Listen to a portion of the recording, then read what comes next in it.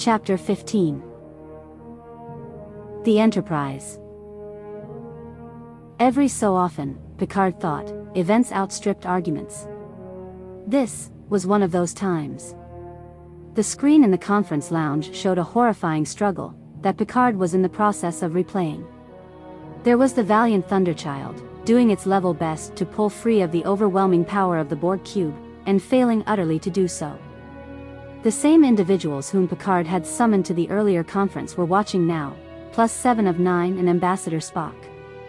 Whereas the looks of concern, anguish, sympathy, and outright horror played out upon the faces of Picard's crew, Spock and Seven kept expressions that were carefully neutral.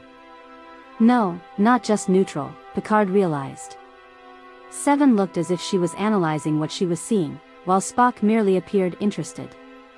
Picard suspected that whatever Spock might be allowing to show on the surface, it didn't accurately represent what was going through his head. With a Vulcan though, who could ever know for certain what that might be? What's the origin of this transmission? asked Geordi. The screen had frozen on the final, chilling image of the Thunderchild's tail end being drawn into the cube. Unclear at this time, rumbled Worf. The signal was sent on a broad subspace wave with no carrier or point of origin attached. How is that possible? said Leybenson. It's possible, Kadohata replied, if the sending vessel is accustomed to keeping a low profile. Might be a trader in illegal products, a smuggler. Which could mean that what we're seeing is faked, said Crusher. Do we know for sure? Geordi was shaking his head. We know. We've been over every centimeter of it. As far as our instruments can determine, it's genuine. But how? asked Crusher. How could this be? Are the Borg capable of, of what we just saw? All eyes automatically turned towards Seven. She did not answer immediately, giving the matter a moment's more thought.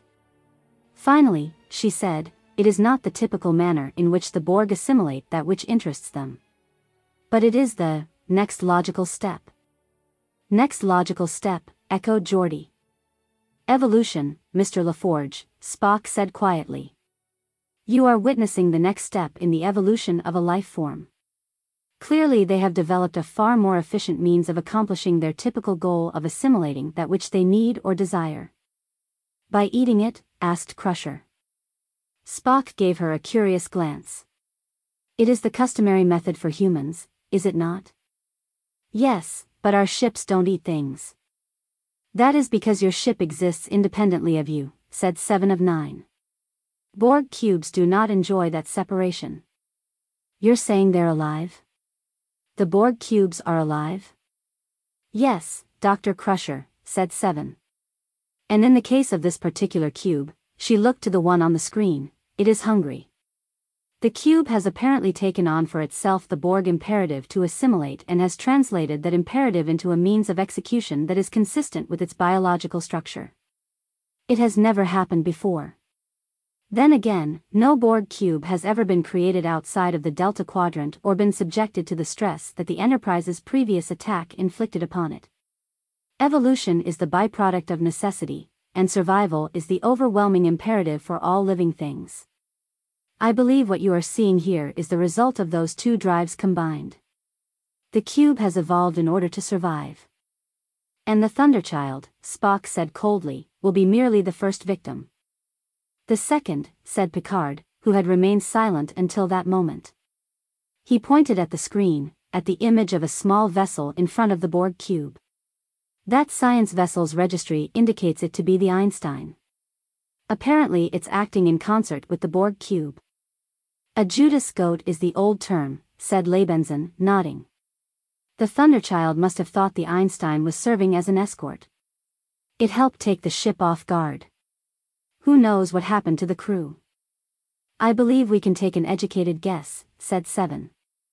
But that's not going to keep working for them, Kadohata observed. Word is out. This was a broad range message, we're not the only ones who have it. Everyone must have it by now. It merely verifies, Spock told her, what was already known to us, that the Borg represent an immediate threat to the security of the Federation. An attack is imminent and inevitable. You know this, T'Lana finally spoke up, because of the mind meld you engaged in with Seven of Nine. Her voice sounded vaguely critical, and it was not difficult for Picard to discern why that would be. Spock, unperturbed by her tone, simply said, yes. The mind meld had been the launch point of the entire meeting. Picard had summoned his staff to the conference lounge and laid out for them exactly what had transpired. Spock had informed them that Seven of Nine was correct. He had determined via a mind meld that Kathryn Janeway was not only in distress, but that the Borg were aware of Seven's knowledge and were doubtless going to act on it. Before the discussion had gone any further, the emergency transmission had come in and, because of its urgency, the bridge had forwarded it immediately to the conference lounge so that Picard and the senior staff could see it and act on the new information. Well then, said Leybenson, it's fortunate that we're en route to Earth if Earth's security is threatened. That is actually what I gathered you all here to discuss, said Picard. That brought everything to a halt.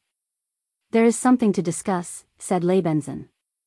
If Earth is going to be attacked by the Borg, you will not be able to stop this vessel with the resources currently at your disposal, Spock told him. With all respect, Ambassador, that's not our call to make. Our orders. I am aware of our orders, Lieutenant, Picard reminded him. But there are other considerations. We must consider the logical progression of events, said Spock, easily ignoring the tension in the air. We are obviously not the only individuals who have received this transmission. Doubtless other Starfleet vessels, even Starfleet headquarters, will be informed of this turn of events. I am quite certain that, even as we speak, a fleet is moving to intercept. If that's the case, we should, Kadohata began. Spock didn't let her finish the sentence. They will fail, he said. You don't know that. You can't. He does, Seven of Nine assured her. And they will. They will resist, but it will prove futile. Resistance is never futile, said Leybenson. That's enough of that, Lieutenant, Picard snapped at him. Captain, she's saying that we should just give up without a fight, said Leybenson. She is saying, Spock replied, that if we are to fight, then we should do so in a manner that will enable us to win. Am I correct in assuming, Worf asked, that there is a manner you would suggest that would ensure victory? Ensure is not a logical word. We are dealing with far too many variables. However, there may well be a means of evening the odds.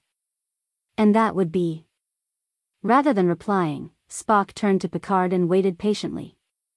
Picard appreciated the respect for decorum that Spock was displaying. The ambassador had already spoken to the captain at length about his thoughts on the matter, but he was waiting for Picard to lay it out for his people since he, Spock, was not a member of the crew. The planet killer, Picard said. There was a moment's hesitation as what he had just said filtered through the minds of his crew. Of course, murmured Crusher. Of course, echoed Kadohata. I don't understand.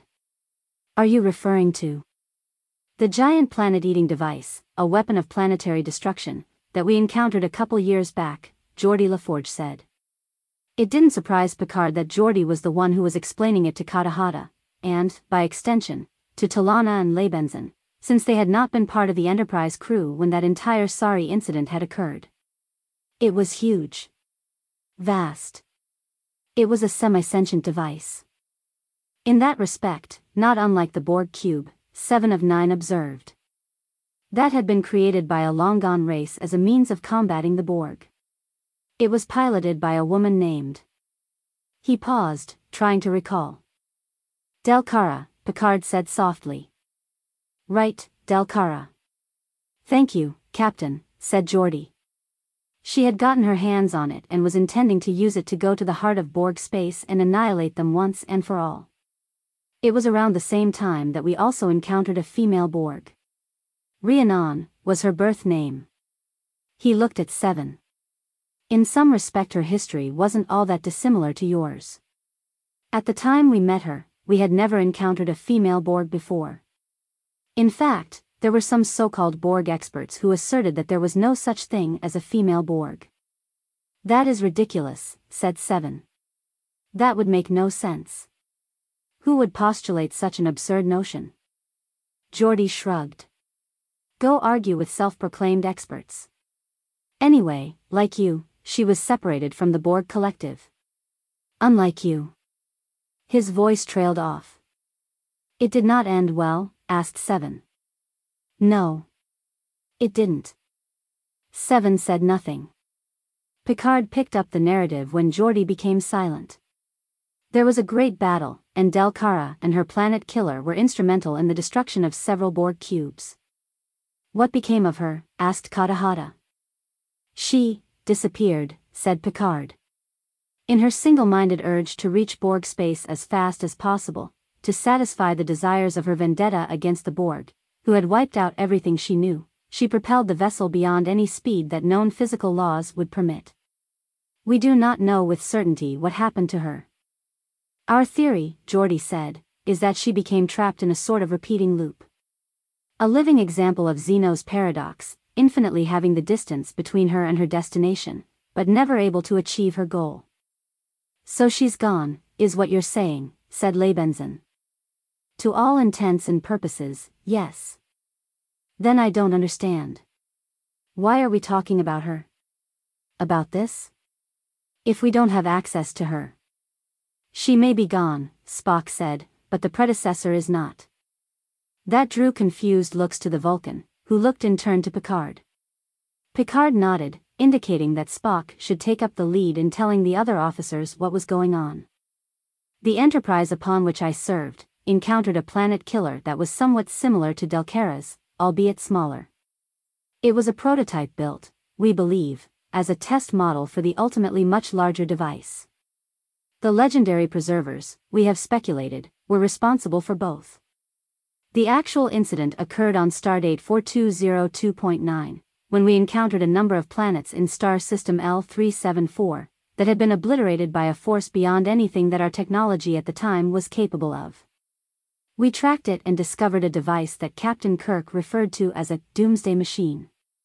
We managed to destroy it by means of piloting the Starship constellation into the heart of the planet killer and detonating the engines. Destroyed? Then, I'm sorry, but I'm not following, Leybenson said with barely restrained exasperation. If it was destroyed, and the larger version is lost to time and space, then what are we talking about here?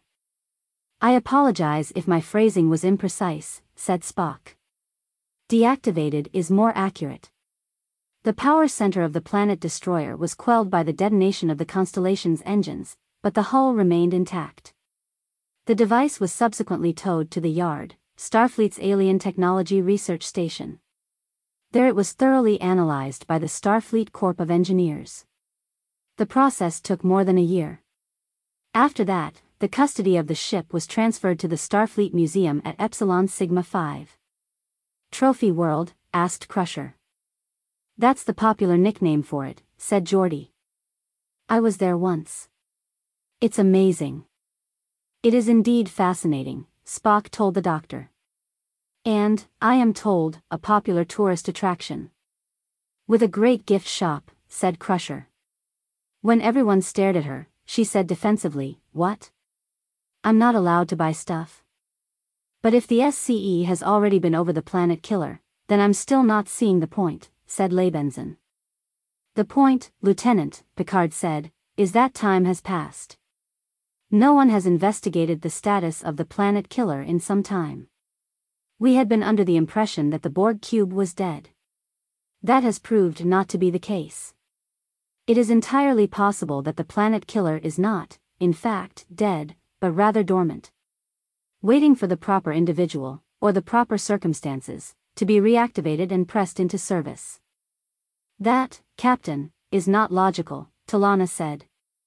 That is, at best, a leap of faith. There is no evidence before us to indicate that the planet killer is anything other than a lifeless hulk.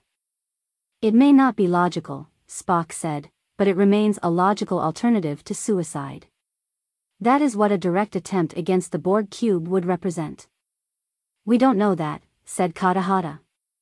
I believe that we do. We need to fight them.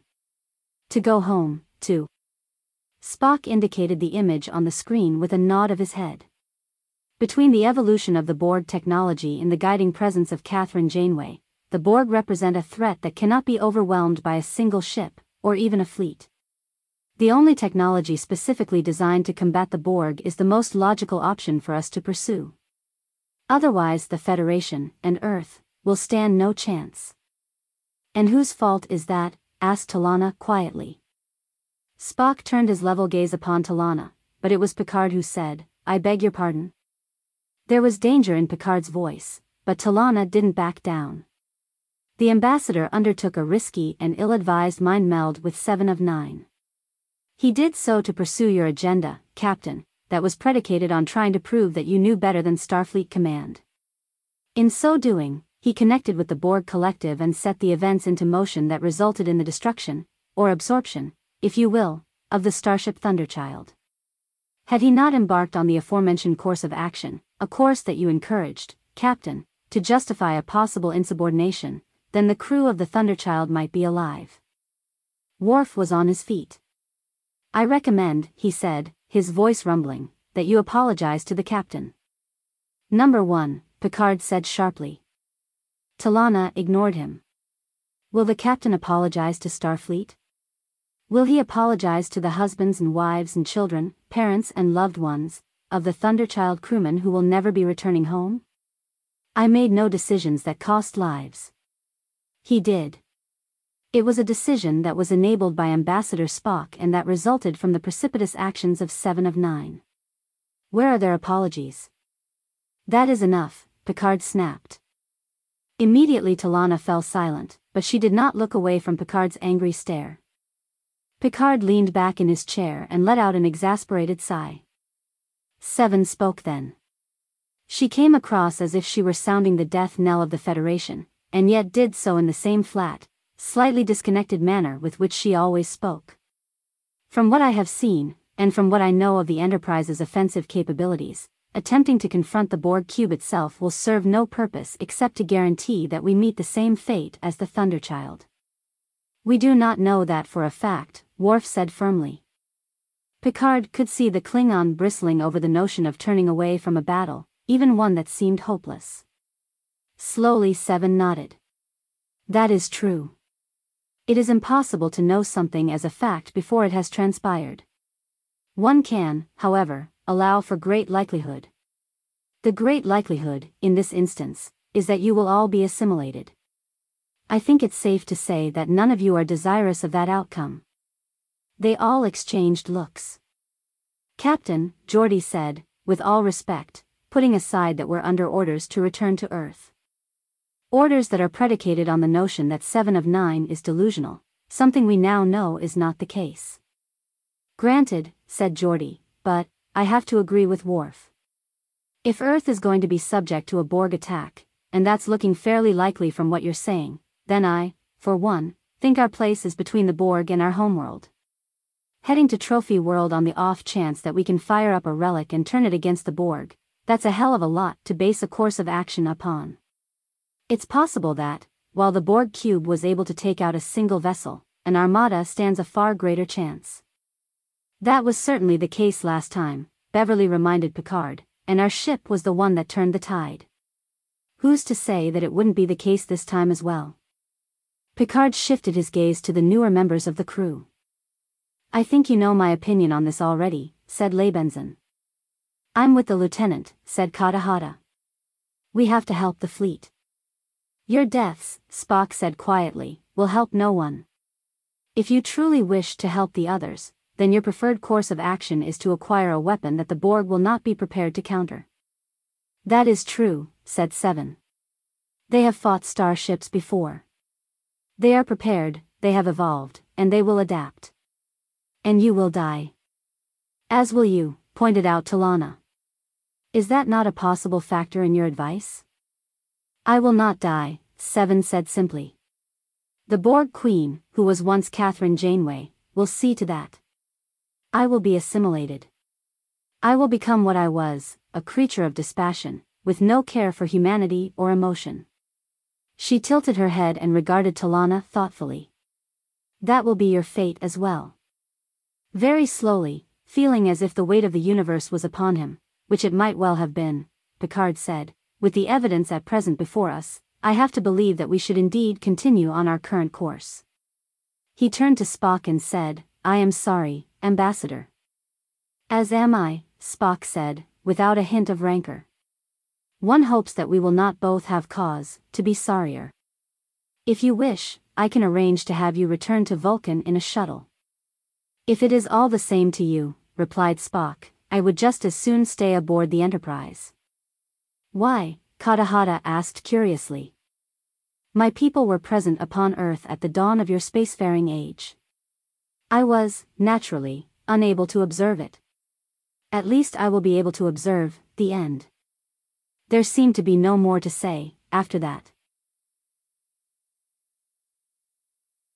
Spock had not been the least bit surprised when T'Lana had shown up at his quarters. Seated cross-legged on the floor, surprisingly limber for a Vulcan of his years, Spock looked up at her with his eternally calm demeanor, and waited for her to speak. I feel the need to apologize to you, T'Lana said. Cocking an eyebrow, Spock replied, For what reason? I believe I may have treated you unfairly. She took a step toward him. It was inappropriate for me to blame you for what transpired with the Borg cube and the Thunderchild.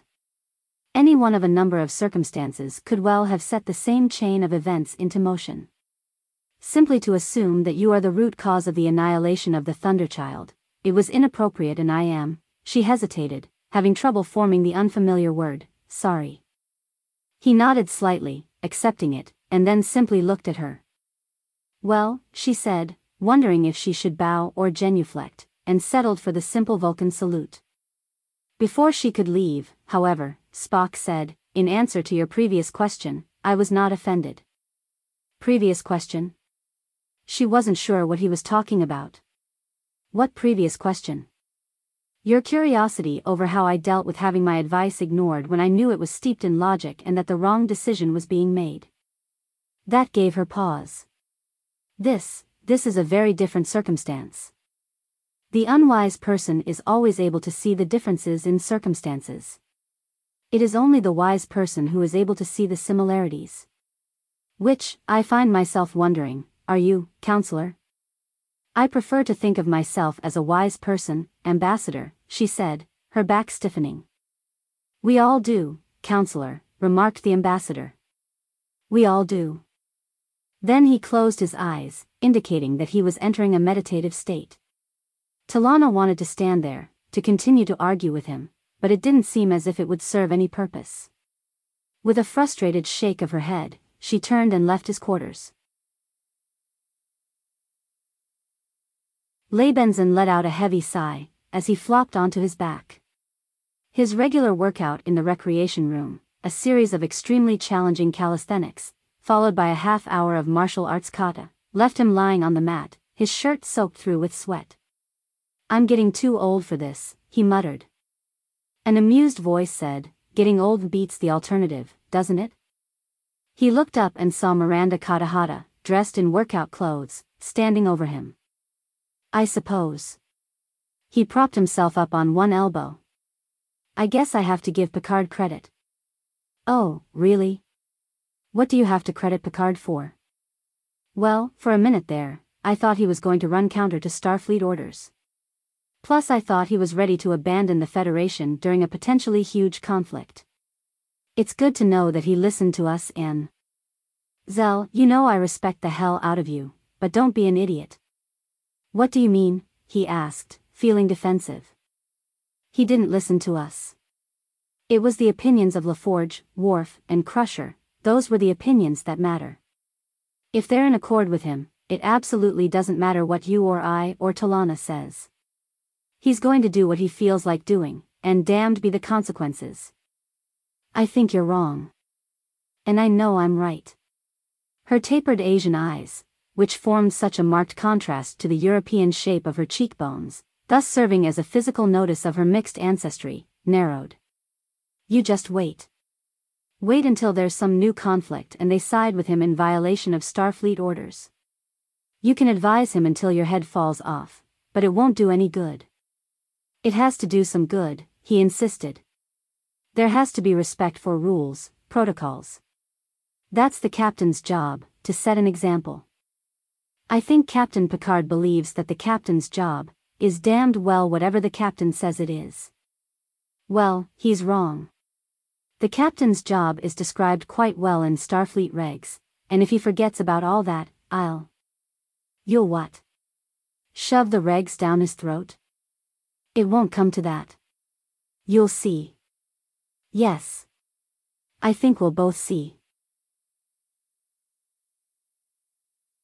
Geordi LaForge settled into his office, down in engineering. Computer, he said. Standing by, came the confident female voice, a voice that to this day still reminded Geordi, for no discernible reason, of Deanna Troi's mother. I want to review all notes on file name, project endgame. Complying, she said. Instantly his computer screen flickered to the specifics of the program, a program that Geordi had not studied closely, ever since his first encounter with the Borg he'd dubbed, Hugh. He leaned forward, began going over the specs, and resigned himself to the fact that he was probably not going to be getting much sleep that night. Beverly Crusher reached across the bed in her sleep, feeling for the comforting rise and fall of Picard's chest.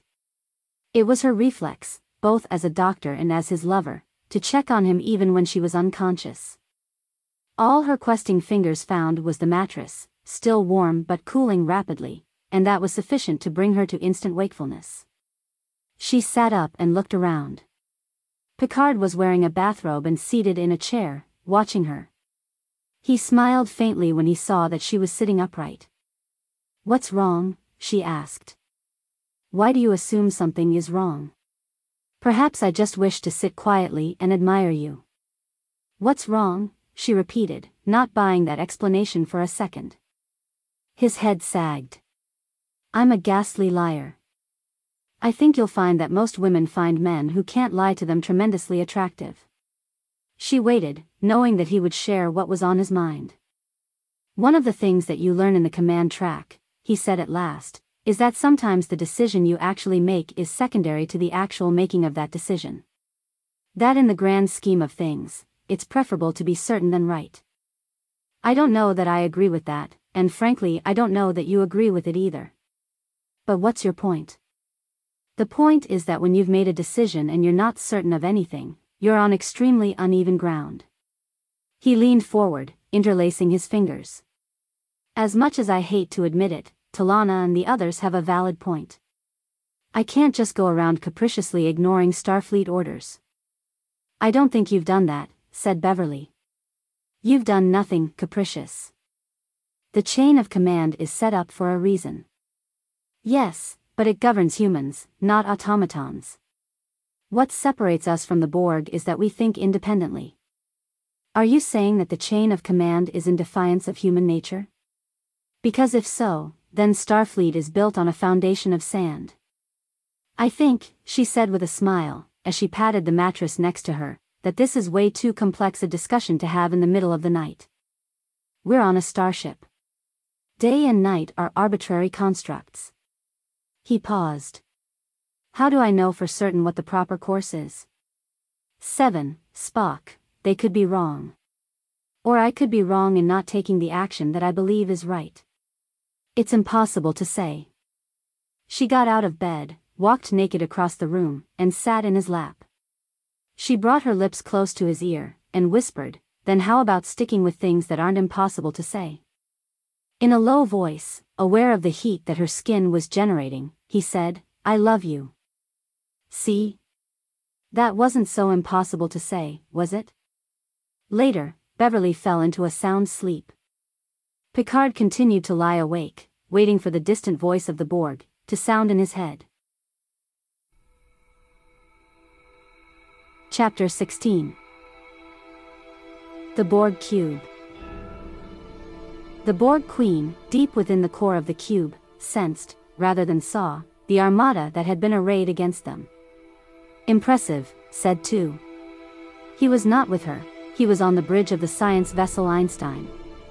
He did not need to be in the same room with her, however, to be able to communicate with her. The Borg Queen was in the heads of all her drones, a number that had increased significantly since the Thunderchild had been absorbed. The Thunderchild's former captain, 9 of 18, was currently in the midst of running routine diagnostics to ascertain the cube's continued operational status. Three dozen starships of various sizes and shapes were coming in from all angles toward the Borg cube. The moment they were within range, they commenced a withering phaser and quantum torpedo array launched with such ferocity that one would have thought they actually believed they had a chance of triumphing. The Borg Queen knew that wasn't at all the case, but she also knew that humans were singularly stubborn and, well, sometimes they needed to find out these things for themselves. Meanwhile the energy barrage simply swelled the strength and resources of the Borg cube. She noted with detached amusement, that a number of them were concentrating fire upon the previously discovered weak point of the Borg cube, the one that Picard had pointed them to at the Battle of Sector 001. How sadly predictable. Perhaps they figured that, although the Gambit had failed for the Thunderchild, all they really needed was a lot more vessels and increased firepower to accomplish their end. They were wrong. But their end was definitely going to be brought about. Absorb them, ordered the Borg Queen. This time the Borg cube didn't even bother with a tractor beam.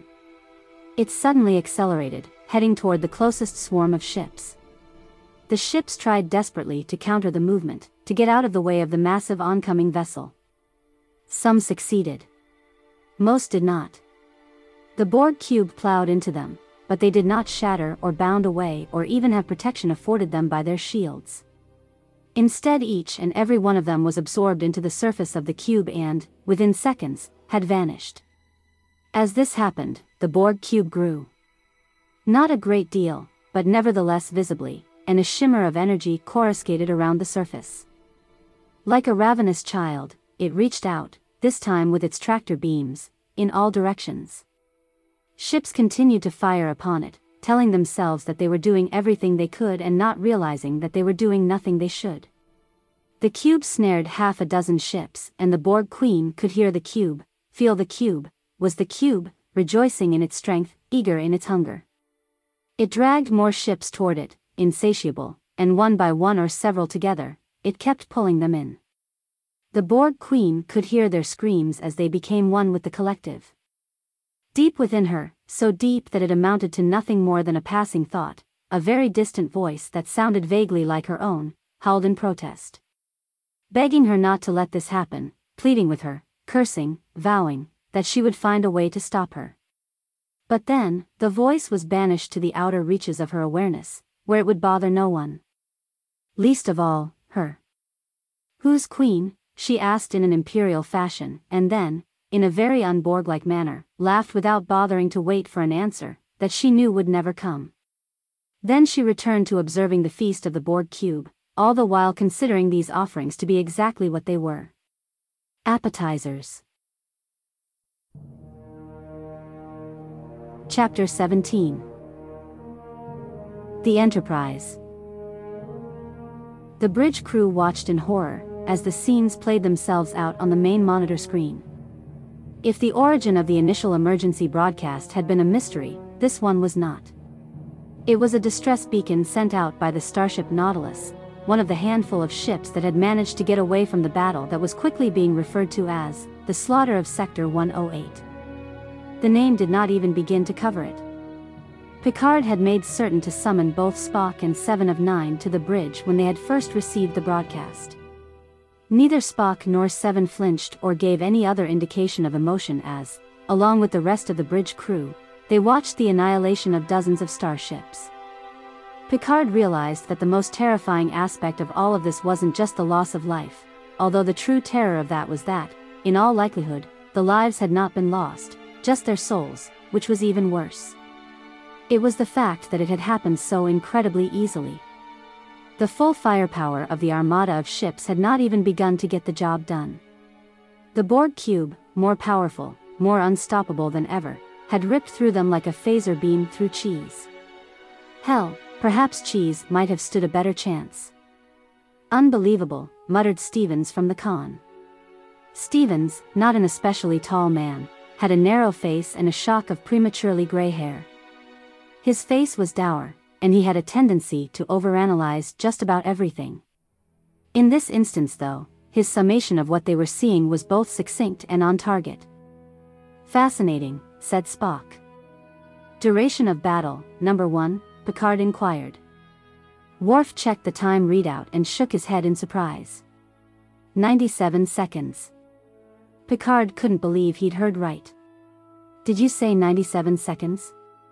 How is that possible? The learning curve, Seven informed him. Turning towards Seven, Picard asked, What do you mean? Are you saying, you thought 97 seconds was lengthy for a battle of that magnitude? Absolutely. The Borg cube is still evolving, still learning what it can and cannot do. The next fleet they encounter will not last nearly that long. Picard turned back to the screen. It was all he could do to keep his face impassive as he watched the cube, under the command of Janeway. Janeway, for God's sake, obliterate dozens of the finest vessels that Starfleet had to offer. Mr. Worf, Mr. LaForge, he said slowly, based upon your knowledge of our tactical capabilities, what are the chances that, in a direct confrontation, we will meet the same fate as our sister ships. They didn't answer. They didn't have to. The silence alone was answer enough. Captain, Worf finally began. Picard put up a hand. It's all right, number one. I've already made my decision. Mr. Stevens, set course for Epsilon Sigma 5. Trophy World, asked Stevens. Correct. Can we swing by the gift shop while we're there? Picard fixed him with a glare that could have shattered rock, and Stevens took that as his cue to do as ordered. Course plotted and laid in, sir. Mr. Stevens, Warp 7. Engage. Aye, sir. The Enterprise leaped away, into warp space. T'Lana was walking down the corridor, when she passed Ambassador Spock heading in the opposite direction. Spock inclined his head slightly in passing, and it prompted her to say, Ambassador. A moment. He turned to face her with his customary look of serene patience. I find that it is, important to me, that you realize I meant no disrespect in our earlier conversations. Is it? He seemed about as surprised as he ever got. Yes. I do not wish to be grouped together, even in my own mind, much less yours, with those of the Enterprise who treated your opinions in a dismissive manner. I firmly believe that the advice you presented Captain Picard was the best advice that you could have given at that moment. Indeed, I am. She glanced around out of a sense of decorum and saw that there was no one nearby. She stepped closer to Spock and said in a lower tone, candidly, I am concerned about the captain's state of mind vis a vis his ability to function as a Starfleet officer. Indeed. He sounded noncommittal. He ignored Admiral Janeway's orders, and has escaped punitive action. It is my belief that that could lead to a sense of self aggrandizement. He could start to believe that he can take whatever action he wishes, whenever he wishes, and ultimately endanger the entire chain of command. There is no telling where it could lead. If I allowed it, I would be failing in my responsibility as ship's counselor. I have no desire to see Captain Picard end up on a Klingon prison planet. I should think not. They are rather inhospitable. I see his decision to continue our course for Earth, to put his trust in the chain of command, to be a significant, positive step in his development as a human being and as a captain. I sincerely believe that those considerations outweigh attending to your plan of seeking out and reactivating the planet killer, a notion that is, at best, problematic, and at worst a. She hesitated, then shrugged. A flight of fancy. I can very much see why you would view it in that manner. Thank you. May I safely assume that this conversation will remain between us? The captain will hear nothing from me. He paused. However, I very much suspect he will hear something from you. Why do you say that? Because we are, at this moment, en route to Epsilon Sigma 5. T'Lana, for possibly the first time in her life, was literally slack-jawed. Then she realized it, and forced her mouth closed. When did we set course for Epsilon Sigma 5? Eleven seconds after the captain ordered it. May I ask why? You certainly may. But I suspect the person to ask is your captain. I am sure that the conversation will be most stimulating. And he walked away. In the captain's ready room, Picard gave T'Lana a look that was not overabundant in patience. I did it because I felt it was the best course of action, counselor. There are many matters within your purview, but command decisions, particularly in time of war, are not among them. With all deference to time of war, Captain, such decisions, especially when they are related to matters of your mental health, are very much within my purview. Picard's eyes widened. Are you implying, counselor, that I am not in my right mind? No, Captain, but as we have seen before, when it comes to the Borg, you are not able to make decisions in a dispassionate manner. Counselor, you'll find that we humans tend to rely on our passions to determine what is important. And you will find, Captain, that that is what will forever limit your development as a race. Picard did not appear any too pleased by that pronouncement, but T'Lana didn't especially care. Counselor T'Lana, I know full well that your people tend to associate emotion with war. My people do not. We tend to focus on the positive aspects of emotion rather than the negative. Yet you were the one, Captain, who immediately cited the fact that we are at war to justify your decision. I am not obligated to justify my decision to you, counselor, but if you're looking for justification, I believe you need look no farther than here. He turned his computer screen to face her and she was able to see for herself the valiant and ultimately short-lived struggle between Starfleet and the Borg Cube. Her face remained impassive, but she said softly, fascinating. I suspect you'll have an opportunity to see it again, close up and firsthand. If my obligation is to the safety of this crew and to protect the Federation, then I have to take whatever efforts are necessary to accomplish that. Reactivating the so-called Doomsday Machine, and employing it as a weapon against the Borg, may be the only thing that they are not expecting. Have you considered, Captain, that the reason they are not expecting it is because it is preposterous and ill-fated? Then we'll just have to confound that, won't we? There is no we involved here, Captain. I was not consulted on this decision. You have made it unilaterally. As is my prerogative. And your obligation as a Starfleet officer is to support my decisions. My obligation as a Starfleet officer is to support Starfleet, sir. He looked at her askance. What are you saying? What I believe, Captain. I am incapable of saying anything else. If you find that disruptive or undesirable. Of course not, Picard said firmly. I count on you to be candid with me. I am pleased to hear that, Captain. She did not add that she didn't believe it for a moment.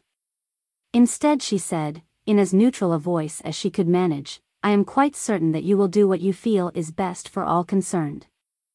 That is true. And I am quite certain that I can expect you to understand why I do what I do. I do understand it, Captain. Perhaps better than you think. Again, she did not add the further thought that was going through her mind better than you yourself understand. She walked out of the ready room, and her gaze fell upon Zelig Leybenson. He was standing at the tactical station, as usual.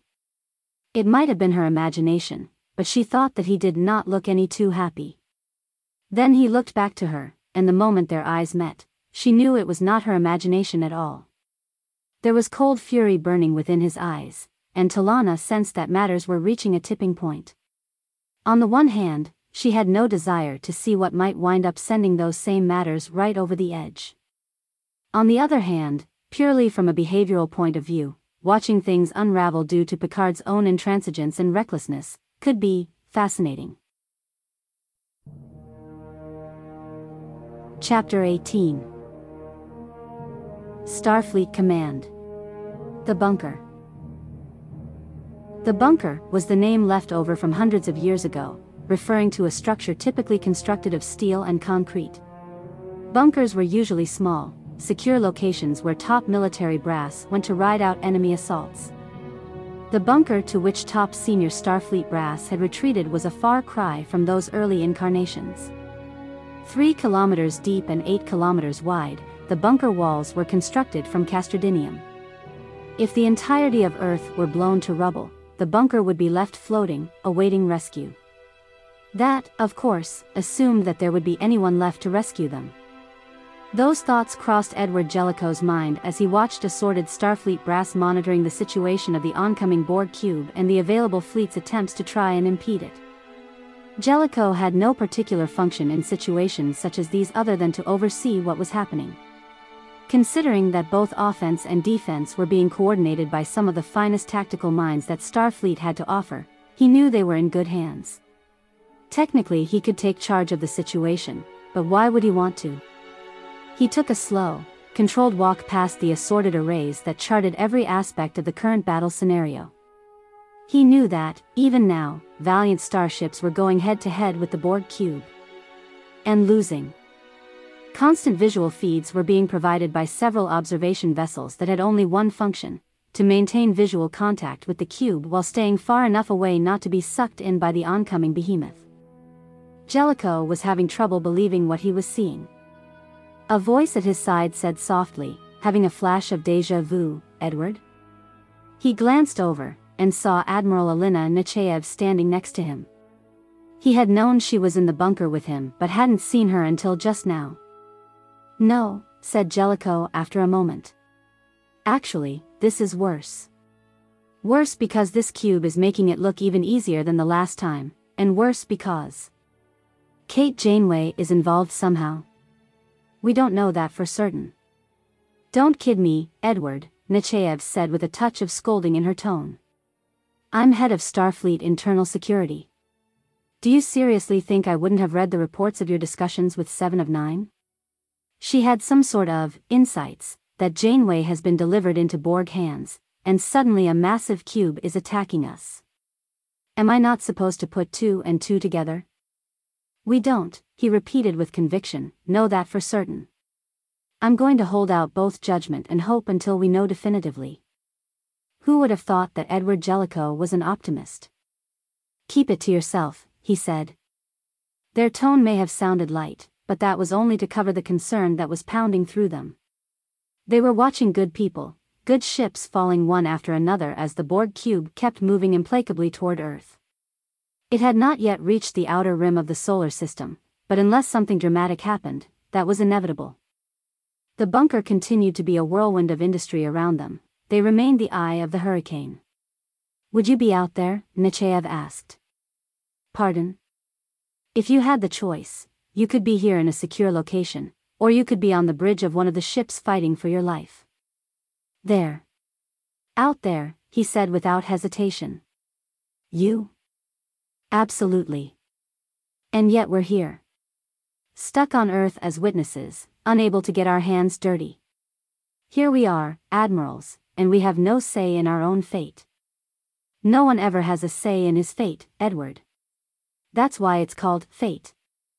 If I believe that, Admiral, then everything we do here would be pointless.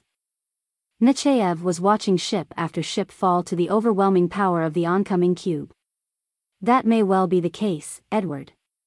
She paused and then said, We may need a miracle to survive this one. The Enterprise should be here soon, said Jellicoe. Picard hasn't let us down yet. Hasn't let us down? This is all Picard's fault, Nechayev growled. The comment surprised Jellicoe. Is it? Damned right.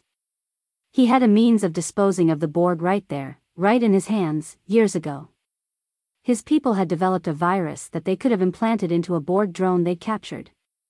They could have used him as a carrier to infect the Borg. The entire race would have been obliterated.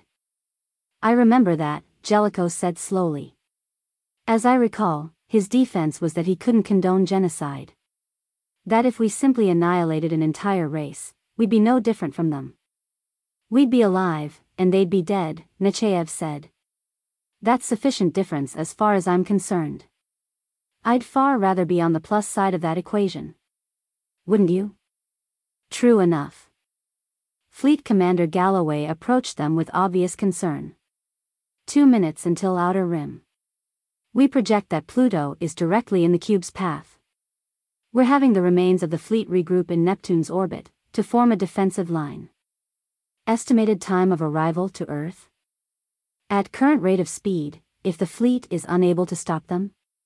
37 minutes.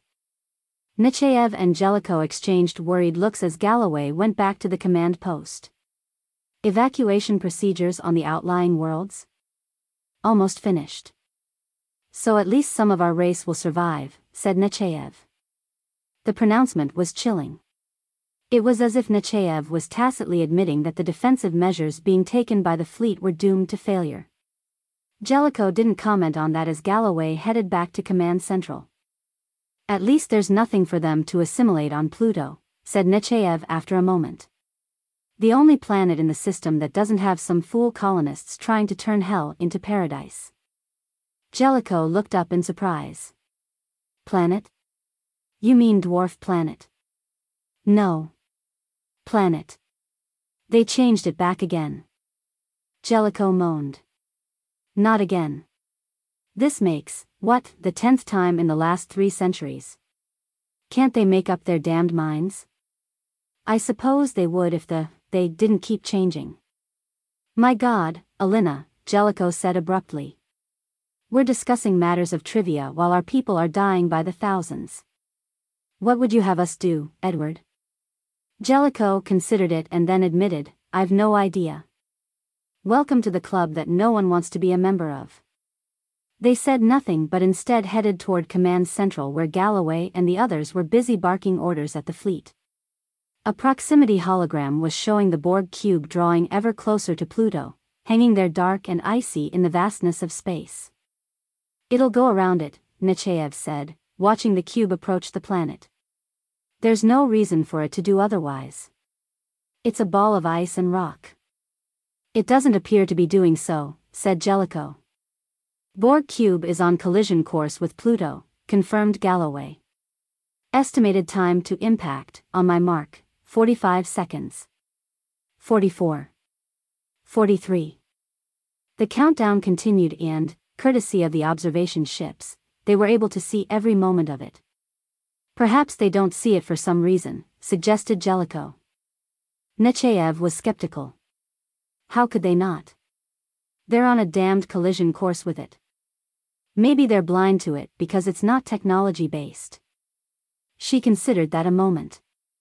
That could be, she said slowly, although she didn't sound convinced.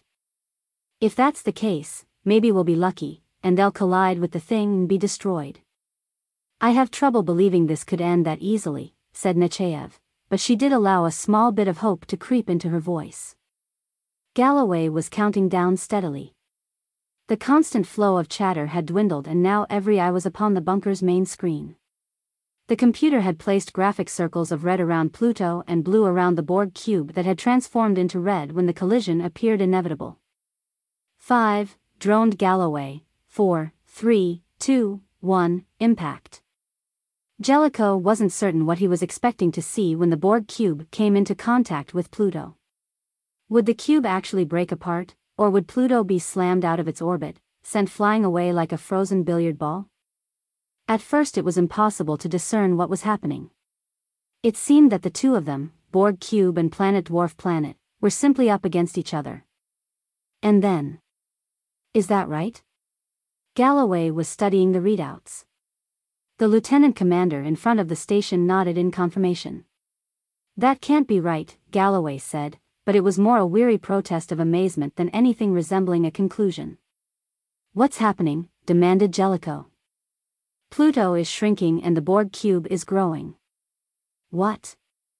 It's eating Pluto, Nechayev said in wonderment. It's absorbing the sphere's mass, it's eating the damned world. That's impossible, said Jellicoe, knowing that it was in fact anything but. The visual on the screen began to match what the instrumentation was already telling them. Pluto was becoming smaller and smaller, while the Borg cube was increasing exponentially. It was a slow, painful process to watch as Pluto continued to shrink. The Borg cube swelled like a mosquito or a tick siphoning blood. How the hell is it doing that? wondered Jellicoe. There's nothing technologically based, nothing. It's mass, said Nechayev. Matter. Matter that the cube is transforming into energy and back into matter again, along with the starships and the bodies it's absorbed. It took five minutes. Five minutes for the Borg cube, which had gained nearly a third in size by Galloway's estimates, to finish devouring Pluto. Well, at least that solves the issue of whether it's a planet or not, Nechayev commented.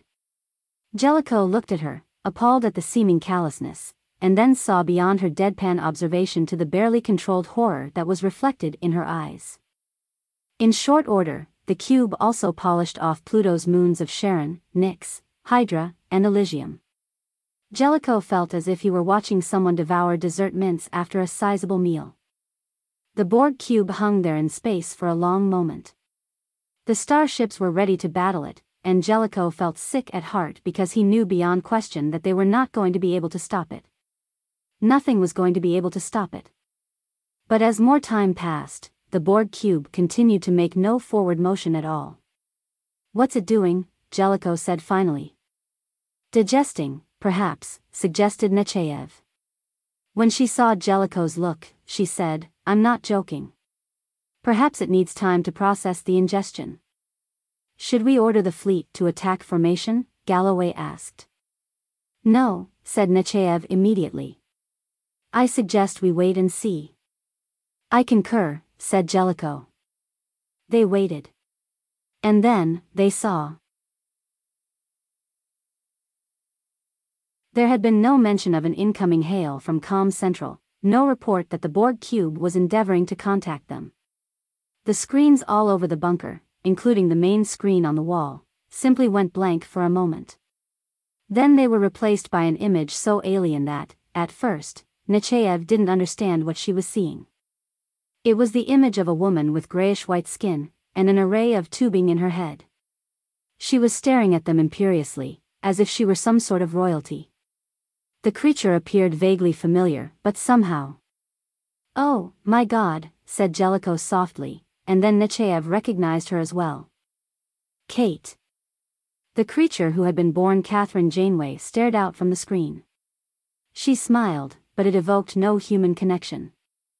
Surrender, said Janeway. You have no choice. Certainly you must know that. Can we reply to her? asked Jellicoe. Negative, said Galloway. It's one-way transmission only. Our terms are simple, Seven of Nine and Jean-Luc Picard. Give them to us and we will allow you to live. With that pronouncement, the erstwhile Janeway blinked out of sight. Borg Cube is holding its position, Galloway informed them. Contact the Federation Council, Nechayev said immediately. Find out what they want to do. Find out. Jellicoe looked stunned. Find out what? You don't seriously believe the Council will accede to this, this blackmail? We're talking about the Borg. The Borg aren't really going to bargain with us. They've no reason to. They're the damned Borg. You know that. I know that. Chances are the Federation Council will know that, said Nechayev. But if they act as if they're going to give in to the Borg, that could buy us time. It's insane.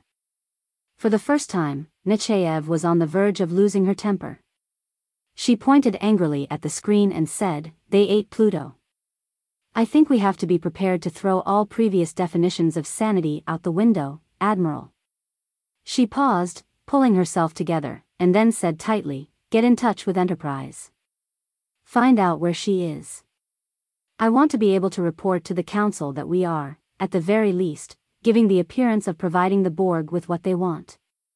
Picard is on his way. Do you know that? Of course I. Don't tell me that he's following the orders you gave him. Do you know for a fact that Enterprise is en route to Earth? Jellicoe looked ready to argue the point, but then said slowly, I will verify her range to Sector 001. Do that. And if he's heading anywhere else but Earth, God help him. And God help us all. End of Part 5. This book will be released in segments each week on our YouTube channel, free of charge. However, to help support the costs involved in creating this audiobook, the entire book is available now to our Patreon supporters. If you would like to listen to this entire book early, please visit patreon.com slash yjk audiobooks. The link is also available in the video description below. Thank you for listening, and may you live long and prosper.